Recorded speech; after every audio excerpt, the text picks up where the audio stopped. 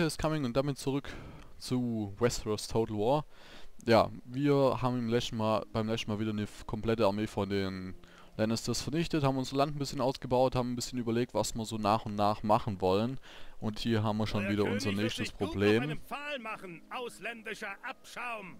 Ja, ganz toll. Ja, Ähm, ist wieder eine relativ große Armee hier direkt vor unseren. Türen. Das Problem ist, ich würde ja sagen, das ist jetzt dann erstmal die letzte, die bei uns rumrennt, aber hier rennt dann nochmal was rum, hier insgesamt alles dazu. Zusammen sind dann wahrscheinlich wieder so eine, Ar eine ist Armee rum. Ich Stärke. echt krass hier. Die fehlt euch. Ja, super. Es ist mir eine Ehre. Das ist die. Überlegung, wie wir das jetzt anstellen. Wir können natürlich jetzt mal ist angreifen. Oder wir warten einfach mal ab. Ich glaube, ich warte jetzt einfach mal ab. Mir ist das jetzt momentan ein bisschen gemütlicher. Ich meine, die Zeit ist jetzt hier erstmal für uns. Nächste Runde haben wir eine Einheit fortgebildet, beziehungsweise eine Einheit rekrutiert. In zwei Runden haben wir dann auch noch eine Einheit Schwertkämpfer, was ja relativ gut ist. Mein König! Vorwärts! Es ist So. mir eine Ehre, mein König. Ähm, du gehst mal darüber. hier, Vier. Runden. Die müssen aber gut sein. Wenn die vier Runden brauchen. Und wo hier unsere Kollegen... Oh, ja. Ganz prima. Ja, es ist natürlich schlau, wenn man auf das nicht Ja, mein achtet. König. Ja! Mein König! Eure Befehle? Ja! Eure Gehen Befehle? diese Dings da, Mein hier, wie heißen König. sie, die Ja! Graufreuz, Mein. Graufreuz jetzt schon ziemlich auf die Eier, muss ich sagen. Gott ist mit uns, Männer. Auf in die Schlacht. Das wird wahrscheinlich auch immer so bleiben. Wir machen hier Rast, Männer. Naja, das Problem ist, um effektiv irgendwie hier den Krieg gewinnen zu können, müssen wir Städte erobern. Einfach aus dem Grund, oh ja, super. Äh, einfach aus dem Grund, damit wir Wir neues Geld kämpfen bekommen. Und anders kriegen Wir halt einfach kein neues Geld. Uns zwischen diesen Bäumen zu verstecken, bringt keine Ehre. Ja, sind wir nochmal mit einem Land im Krieg. Haus Baratheon von Drachenstein, genau. Von Drachenstein sind wir jetzt auch im Krieg, super toll.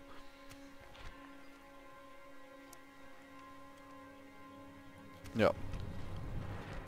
Bau abgeschlossen, Farmgemeinschaft. Ja. Fruchtfolge können wir dann auch noch gerne bauen hier.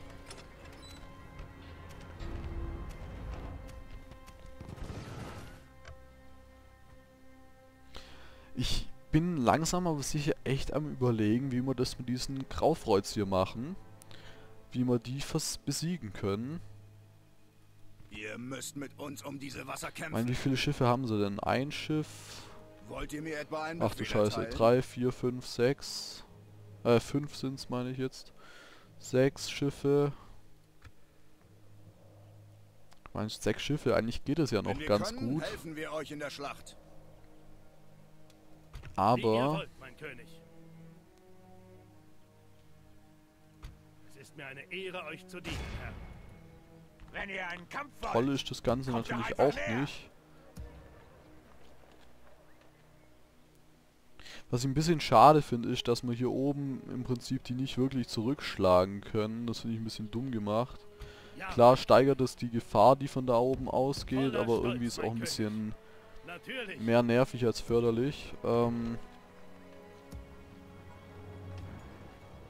Oder schreibt mal eure Erfahrungen, falls ihr die Mod jetzt auch schon mal mit den Stars gespielt haben. Ich meine, ich habe ja am Anfang echt erobert, aber da sind ja irgendwie immer Truppen gekommen. Ist es bei euch auch so oder waren es nur Truppen, die dann noch versteckt waren? Glaube, langsam weiß ich, was irgendjemand von euch mal in den Kommentaren gemeint hat, dass die Truppen da noch versteckt waren. Ich habe nicht mehr gewusst, um was es da so gehen sollte, laut dem Kommentar. Und jetzt ist mir natürlich klar. Ja, okay, wahrscheinlich meinte man, dass da halt einfach noch Truppen drin waren. Das heißt für uns, wir probieren es nochmal aus. Wir greifen jetzt nochmal hier an, erobern gegebenenfalls die Stadt. Windspiel gleich wieder zurück. Ähm, und greifen dann Ech an und besetzen die Stadt und warten mal ab, was da dann so passiert. Ich meine, wenn wir da nicht ru- äh, jede Runde angegriffen werden, wäre das auch nicht schlecht. Deswegen habe ich hier gerade auch einen Spion rekrutiert. Ähm, mit dem können wir da oben mal gucken, ob da Truppen dann sind. Weil ich meine, die schicken ja da immer neue Truppen hoch, das wissen wir ja. Das hat auch ein paar Runden gebraucht, bis da eine fast eine Fullstack drin stand oder eine halbe Armee. Aber, oder wie viele Truppen sind es da jetzt? Äh, jetzt sind sie wieder weg, okay. Wenn ihr einen Kampf Ja, wollt, Ein, eine halbe Armee, ein bisschen mehr als eine halbe Armee. Was war das jetzt? Ja, soll, toll, ganz super. Ich habe gerade anderes zu tun, ohne irgend, äh, statt irgendeinen Hafen zu besetzen hier. Es ist mir eine Ehre, mein König. Gott ist mit uns, Männer. Auf in die Schlacht! Bäckerei, ja gut. Man könnte man mal bauen.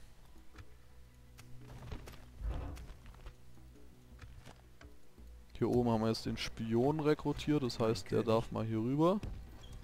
Heute gehe ich nicht mehr weiter. Ich meine, es wäre ideal, wenn das alles wäre eigentlich. Wenn wir die da einfach nur ab und zu mal hier diese zwei, drei Einheiten, die hier per Schiff kommen, zurückschlagen müssen, dann wäre mir das doch relativ angenehm. Ansonsten ist das natürlich dumm, wenn da oben Truppen spawnen, ist das natürlich ein bisschen ätzend.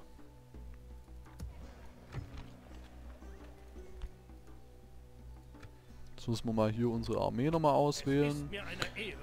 Und jetzt schicken wir mal, was haben wir denn hier so rekrutiert in letzter Zeit? Schwertkämpfer und Speerträger, ihr das heißt wir schicken die Einheiten hier, na, die Einheit da Eure mal raus und die hier. Und die hier. Und schicken dafür diese Truppen in die Armee rein. Dadurch wird die Armee jetzt auch ein bisschen stärker so. Ähm oh, was macht Haus Orion da? Ich habe irgendwie ein bisschen Angst, dass sie da gleich angreifen. Dann haben wir nämlich nochmal einen Krieg und dann können wir uns nämlich schlussendlich aus diesem Teil hier unten zurückziehen. Dann war es das nämlich, dann müssen wir nämlich in unserer Heimat kämpfen. Dann müssten wir erstmal die hier auslöschen. Weil ich das mir gar nicht so einfach vorstellen kann. Glaube, ich habe die Mod ein bisschen unterschätzt, muss ich zugeben. Ja, mein König.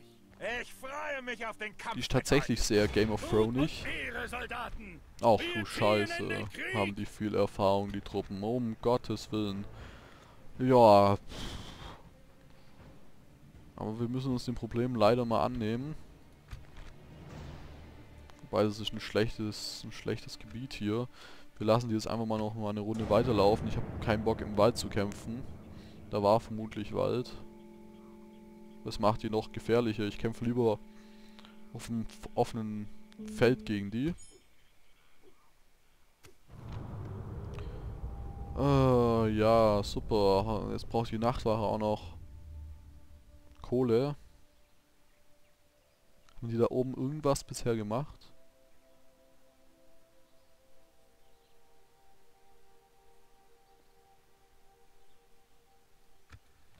Ja, hier kriegt er halt mal. Ja, ganz toll, super, im perfekt.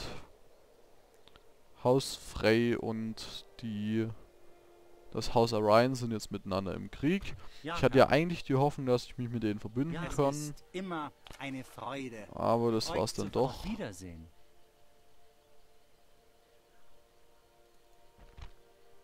Wohin ist unser werte Fürst hier? Aber natürlich, mein Herr. Ah ja, hier Setze die Walder. Reise morgen fort, mein König. Raste hier, mein König. Grauwasserwacht, ja, passt. Beziehungsweise, was wollen wir hier als nächstes bauen?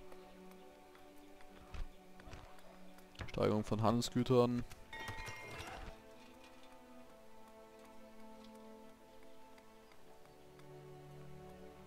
Wenn hier sind jetzt Truppen an Land gegangen, das sehen wir. Was wollen wir hier denn schon noch so bauen? Eigentlich gar nichts. Ne, wollen wir wirklich nichts bauen. Es ist mir eine Ehre, mein König. Lass mal die mal hier ein bisschen Voller rumlaufen, wenn sie meinen. Oh je, hier drüben haben wir jetzt diese eine Einheit da auch gebaut, beziehungsweise diese zwei Einheiten haben wir rekrutiert. Das heißt, wir können die jetzt auch mal darunter schicken. Ja. Und die Truppen können wir im Prinzip da auch gleich da lassen, weil wahrscheinlich müssen wir gleich gegen das Haus Orion kämpfen. Also, was ich im letzten Part gesagt habe, von wegen, wir müssen vielleicht äh, drei Länder erobern insgesamt, äh, ja, das stimmt mittlerweile dann nicht, ja. Ähm, wir müssen im Prinzip alle erobern, bis auf unsere Verbündeten, wenn wir Glück haben. Wobei ich mir da bei Game of Thrones auch noch nicht so sicher wäre. Ja, großes Kino. Stolz, So, ähm... Noch dazu kriegt man jetzt nicht so wahnsinnig viel Geld momentan. Wo ist diese eine Scheißarmee abgehauen hier? Mein König. Ich bewege mich leise. So, jetzt war es wahrscheinlich da, das war wirklich so, wie es da jetzt gerade ist, vermutlich. Ich wette, hundertprozentig standen die da irgendwo. Ja. Ja. So, mit der Armee müssen wir jetzt mal schnell nach Winterfell. Gott ist mit uns, Männer. Auf in die Schlacht. Wenn ihr einen Kampf wollt. Ja, wobei, die brauchen noch eine. Weile. Wir sind offen für euer Angebot. Hm, Ja, ja lassen wir das erstmal. Ich wollte eigentlich gucken, ob wir Rob mit der Prinzessin verheiraten können. Oder mit der Lady verheiraten können, aber irgendwie ja nicht. Von dem her lassen wir das dann mal.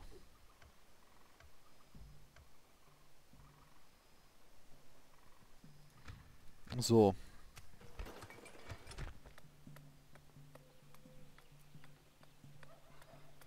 Ah, da ist es die eine Armee.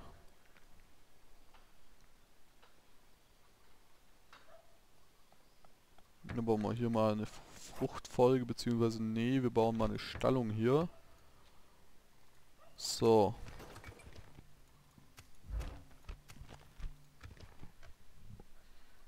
Es ist mir eine Ehre, mein König. Ich möchte jetzt mal noch Wir ein bisschen weiter da hochlaufen. Ich wette, die bringen hier jetzt schon die nächsten Truppen wieder. Wollt ihr mir etwa einen ich glaube, die gehen jetzt erstmal hier runter und holen dann sich neue Truppen. Ich finde es ein bisschen krass, wie viele Truppen die eigentlich insgesamt haben, diese blöden Eiseninseln da. Hier stehen wir uns immer noch gegenüber wie vor ein paar Uns, Runden. sollten. Naja. Wir werden jetzt die Truppen von hier wollt, mein König. einmal Mein etwas König! abziehen. Ja, mein König. Ja, eure Befehle? Mein König. Ich möchte so schnell wie möglich ähm, König. Es ist mir eine im Ehre, Prinzip mein unsere. Front hier oben mal fertig machen. Wirklich schauen, ob da wirklich keine Truppen spawnen. Und wenn da wirklich keine Truppen spawnen, dann... Da, da spawnen doch Truppen. Hundertprozentig spawnen da oben Truppen. Ich bin mir da so sicher, dass hier Truppen spawnen. Das gibt's gar nicht. Woher sollen die denn auch schon kommen hier? Es ist mir eine Ehre, euch zu dienen, Herr. Ich freue mich auf den Kampf mit euch. Weiß auch nicht, das gefällt mir jetzt nicht ganz so wirklich, dass da. Truppen spawnen. Das ist irgendwie... Eine bisschen dubios. Ja, dann werden wir unseren Plan doch wieder ändern und werden wir jetzt mit der Armee hier runter Wir marschieren. Stellt Beziehungsweise Waffen hier runter Wir marschieren. Dort können wir nicht hin, Herr. Dann werden wir jetzt halt eben versuchen, die Lannisters auszuschalten. Mit denen hier oben können wir so lange tanzen, bis sie irgendwas Gegenteiliges machen wollen. Ähm, Ja, mein König. wenn sie halt irgendwo eine Stadt von uns angreifen, dann müssen wir sie halt mal angreifen. Aber ansonsten, ja, vielleicht sollten wir sie auch irgendwann mal geschwind ausschalten. Wollt. Aber momentan, naja, was soll's.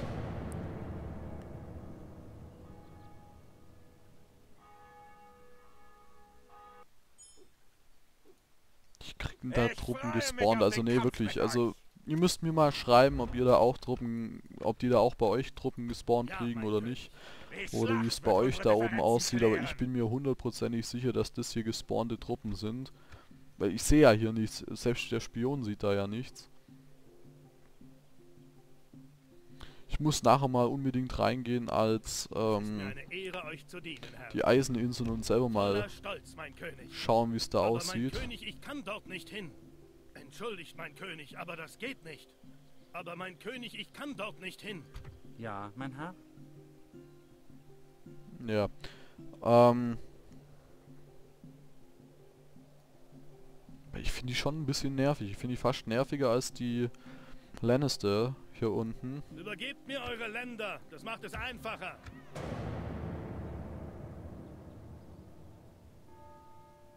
Hm. Lecker. Muss man die jetzt halt eben mal kurz vernichten oder zum Rückzug zwingen oder ähnliches. Zu den Mauern! Der Feind belagert uns! Beziehungsweise so ein paar Einheiten kann man ja auch relativ... Oh. Lol, okay.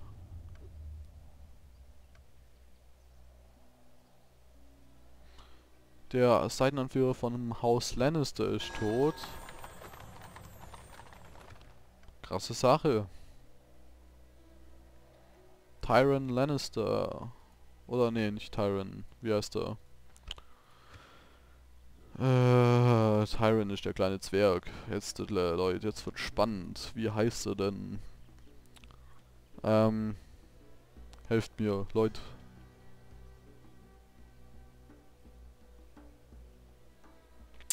Ja, vielleicht komme ich noch drauf. Irgendwas auch mit T. Ich vergesse die Namen immer so gerne, weil es sind halt einfach so voll viele und keine Ahnung.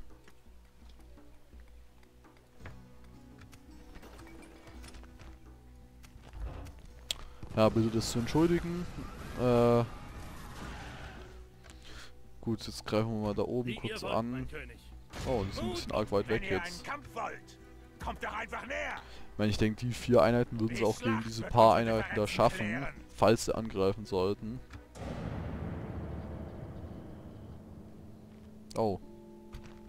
Ganz schlecht. Oder sie schaffen es vielleicht auch nicht. Jetzt lassen wir uns das mal ausprobieren. Ich meine, wir haben eine Festung. Ich denke, das sollte ja irgendwie funktionieren.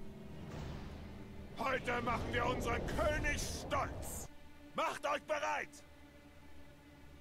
Ja.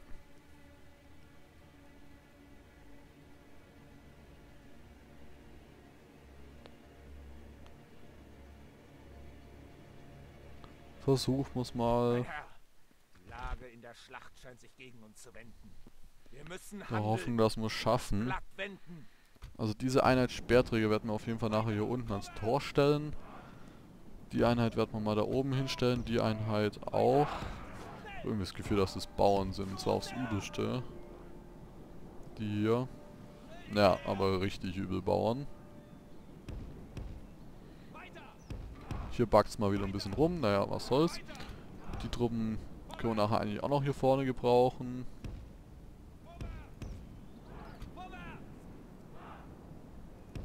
Schicken die jetzt immer auf die Mauer. So. Schade, dass wir eigentlich gar keine Bogenschützen haben, um ehrlich zu sein. So, jetzt schicken wir mal die Truppen direkt da an die Mauer. Oder ans Tor, besser gesagt. Und die schicken wir da so ein bisschen dazu, um einfach die Lücken sozusagen ein bisschen zu schließen. Dann spulen wir die ganze Sache mal vor.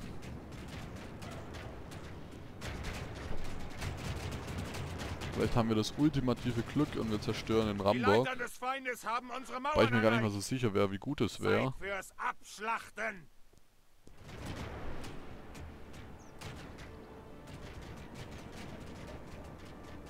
Um Gottes Willen, jetzt rennen die alle da hoch. Das war jetzt eigentlich nicht das, was ich beabsichtigt hatte. Schlechte Kunde.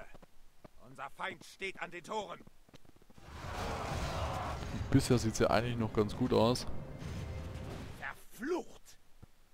Rambock des Feindes ist durch unsere Tore. Weil wenn die da jetzt dagegen rennen...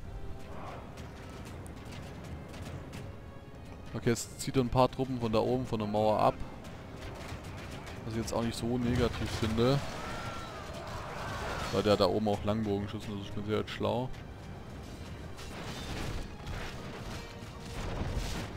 Ja, ich möchte ein bisschen vorspulen, weil wir haben nicht mehr allzu lange Zeit in dem Part. Nur noch die Hälfte der feindlichen Streitmacht ist übrig. So, gegnerischer General ist auf jeden Fall mal tot.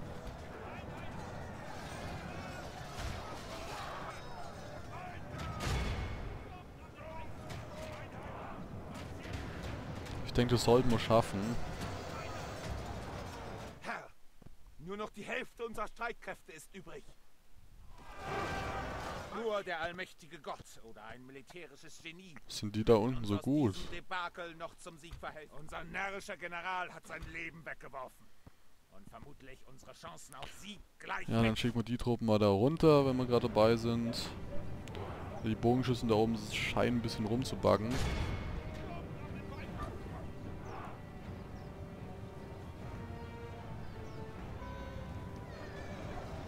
diese Graufreus scheinen eine echte Gefahr zu sein. Ich habe jetzt echt gedacht, das wäre jetzt nicht so hammerhart hier.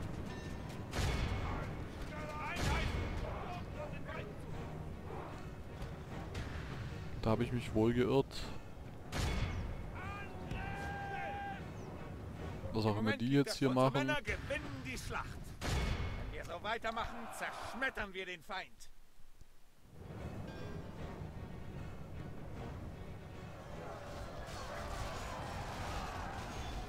Sowas nennt sich dann haarscharf. Ich denke, wir können uns nicht ganz so beklagen.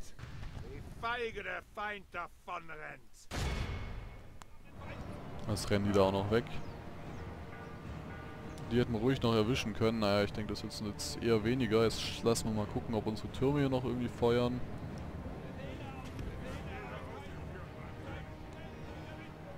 Na. Drauf geschissen auf die. Das ist ein klarer Sieg. Ja, wir haben 336 Mann verloren.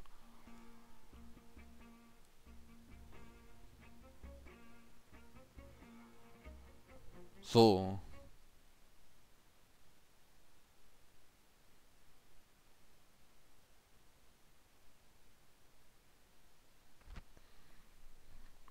Schauen wir mal.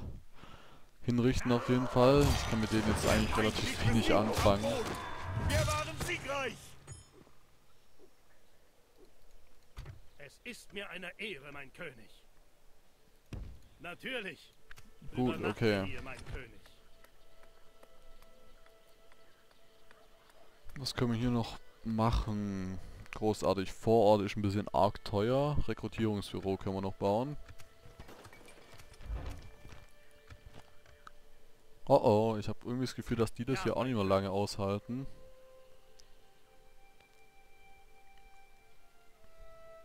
Es ist mir eine Ehre, mein König. So, jetzt machen wir das erstmal so hier. Und dann heißt es ja immer noch, also ich meine, die werden uns Wenn wahrscheinlich hier gleich wollt, wahrscheinlich wieder wegrennen. Naja,